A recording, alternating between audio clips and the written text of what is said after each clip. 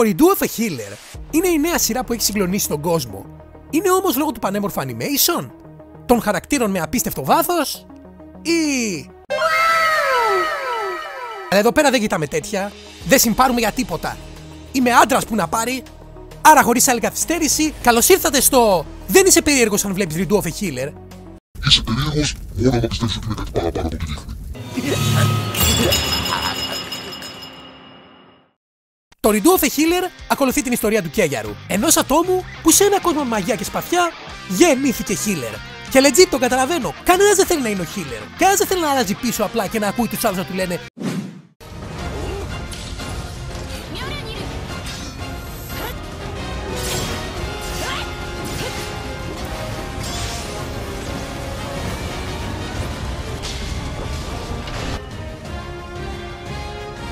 Χίλαρε με ρε μαλάκα, χίλαρε με γαμώ την τύχη μου πέφτω, χίλαρε με ένα γαμημένο κουμπί, έχεις πάτησε το γαμώ το χίλ, άντε χίλαρε με.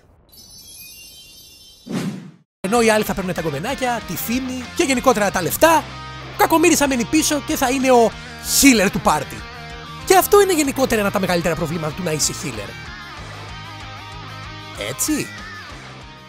Το Redo of a Healer έχει μια πολύ εκλεπτισμένη λεπτομέρεια. Μια πλοκή που βλέπεις μόνο στις καλύτερες σειρές. Ο πρωταγωνιστής έχει τη δυνατότητα να σε βοηθάει να ξεπερνάς τα όρια σου με... πώς μπορώ να το πω διακριτικά... Να σε πει. Ναι, παιδιά, δεν είναι μυστικό. Μαθαίνουμε ότι το σπέρμα του έχει μαγικές δυνάμεις που σε βοηθάει να περνάς τα όρια σου. Έχουμε τον πρώτο anime ήρωα με κυριολεκτικά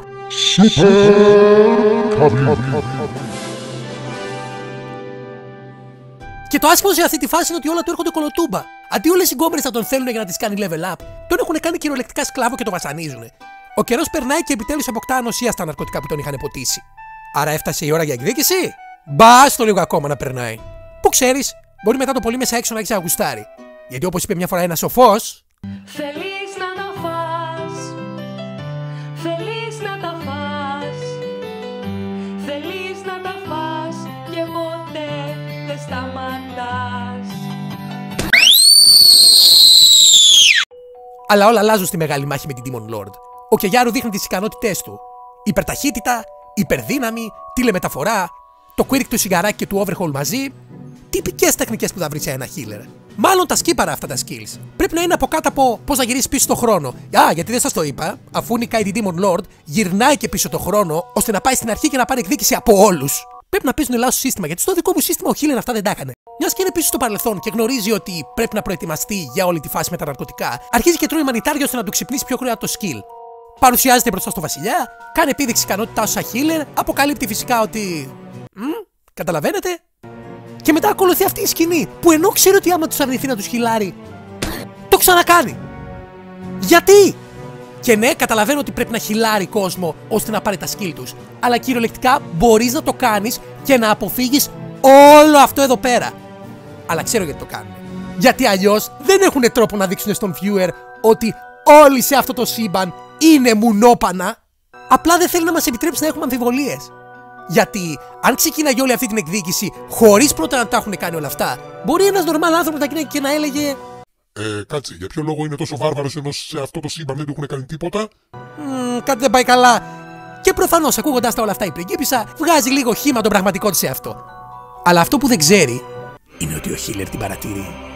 Υπολογίζει την κάθε της κίνηση. Αυτή τη φορά δεν θα περάσει ό,τι πέρασε. Και η εκδίκηση θα είναι όλη δική του. Αυτή τη φορά δεν θα τον περάσουν ένα χέρι για χρόνια, αλλά μόνο για έξι μήνες. ε, τι ήταν το τελευταίο που είπε; Η μέρα εκδίκησης έφτασε και πραγματικά είναι αντάξια ό,τι περιμέναμε. Ο τύπος αλλάζει κορμί, μπαίνει μέσα στο δωμάτιο της γκόμενας, σκοτώνει τους φρουρούς της, τη δίνει, τη βάζει στο κρεβάτι, αρχίζει να της πάει ένα-ένα τα δάχτυλα. Της λέει: Άμα φωνάξεις, θα σε βιάσω. Η κοπελιά κρατιέται, αλλά μεταξύ μας, κοπελιά, το έχω καταλάβει. Εγώ το έχεις καταλάβει, εσύ το έχει καταλάβει και ο κόσμος από πίσω. Σήμερα θα τον φά. Και μέσα σε όλη αυτή τη φάση ο τύπος της λέει: Κοίτα, έχω ένα ματσούκι που καίει, έχω και το δικό μου ματσούκι. Τι θες να φας από τα δύο; Και η τύπισσα κάθεται και το σκέφτεται. Κοπελιά αποφάσισε είτε θα πάρει το καυτό μέταλλο είτε εμένα. Απλά κάψε με.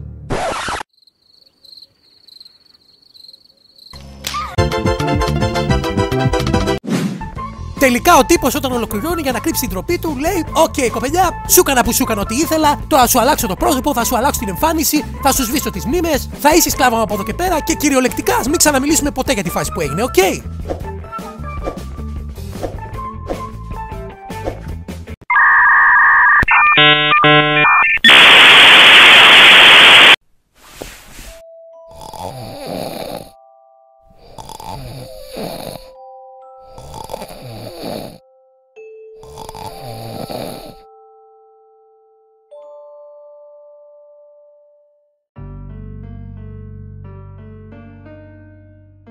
Το πρόβλημα με αυτή τη σειρά είναι ότι κυριολεκτικά δεν υπάρχει καθόλου γκρι. Όλα είναι είτε λευκά είτε μαύρα. Συγκεκριμένα όλα είναι τελείως μαύρα. Το πρόβλημα μου όμως είναι ότι δεν παίζει καθόλου με τα στοιχεία που έχει η ίδια χτίσει. Πού ξέρουμε ότι ο πρωταγωνιστής δεν έκανε χιλ, πήγε σε ένα νέο κόσμο και στο νέο κόσμο αυτά τα άτομα έχουν αλλάξει προσωπικότητες. Γιατί πρέπει σε και καλά να πας πίσω το χρόνο και να ακολουθήσεις ακριβώς τα ίδια βήματα. Γιατί να μην δοκιμάσεις άλλη προσέγγιση και να δεις πώς θα δουλέψει. Ή γιατί πολύ απλά να μην πας πίσω στο χρόνο, να βρεις αυτά τα άτομα και να δεις ότι είναι διαφορετικά από αυτά που έχεις γνωρίσει ως τώρα. Πόσο καλύτερη σειρά θα ήταν αν ο πρωταγωνιστής διχαζόταν για το αν πρέπει να πάρει εκδίκηση ή αν πέρασε όλα αυτά και στο τέλος τη ημέρα δεν κατάφερε να πάρει την εκδίκησή του, διότι τα άτομα που τον είχαν βασανίσει δεν υπάρχουν πια. Άρα να αναγκαστείς να ζεις σε ένα κόσμο με άτομα τα οποία μεν σου θυμίζουν τα άτομα που σε βασανίσανε, αλλά στην πραγματικότητα είναι διαφορετικά και δεν σου έχουν κάνει κανένα κακό. Θα ήταν ένα πολύ ωραίο plot twist και δεν καταλαβαίνω για ποιο λόγο δεν το εκμεταλλεύτηκαν. Καλά, εντάξει, μεταξύ μας καταλαβαίνω γιατί το κάνανε. Γενικότερα, η σειρά είναι μια αφορμή για αμέτρητη βαρβαρότητα χρησιμοποιώντας μια πλοκή εκδίκησης. Γιατί; Γιατί οι πλοκές εκδίκησης αρέσουν στον κόσμο. Δούλεψε στο Silk Hero, δούλεψε στο Kill la Kill, δουλεύει γενικά παντού. Ο κόσμος αγαπάει να βλέπει άτομα να παίρνουν εκδίκηση. Ξέρετε το αστείο, ότι η πλοκή στα χεντάι υπάρχει ώστε να πηγαίνουμε στο πίδημα. Ε, πάνω κάτω κάτι τέτοιο συμβαίνει και εδώ πέρα. Το μόνο plot element σε όλη τη σειρά, κυριολεκτικά το μοναδικό plot element, είναι ότι το σπέρμα του πρωταγωνιστή έχει μαγικές δυνάμεις και σε κάνει δυνατότερο. Και όχι, δεν μπορείς να το πάρεις όπως θες. Δεν μπορεί ο τύπος να το κάνει σε ένα ποτήρι και να στο δώσεις να το πιεις. Πρέπει να στο δώσει κανονικά με τον παραδοσιακό τρόπο. Η σειρά ούτε καν το συζητάει. Δεν μπορεί δηλαδή να του δώσει ένα κινητό, μία τουαλέτα, ένα βαρέλι και απλά να τον αφήσει να κάνει μαζική παραγωγή. Όχι! Πρέπει να γίνει όλη η πράξη και πρέπει όλες που το κάνουν να το γουστάρουνε. Και όσοι δεν το γουστάρουνε, πρέπει να το κάνουν βάρβαρα. Άμα γενικότερα γουστάρετε τη σειρά, με γεια σα και χαρά σας. Αλλά στο τέλος της ημέρας δεν είναι τίποτα παραπάνω από μια αφορμή για να μαζευτείς με την παρέα και να χασκογελάς. Ε, ε, ε, Ντέστρο, νομίζω ότι είσαι λίγο σκληρός. Ε, είναι μια μορφή εκδίκησης. Απλά τους πληρώνει με το ίδιο νόμισμα. Ε, έτσι θα γινόταν και στην πραγματική ζωή. Αλήθεια, είσαι σίγουρος; Έτσι θα γινόταν και στην πραγματική ζωή; OK. Okay.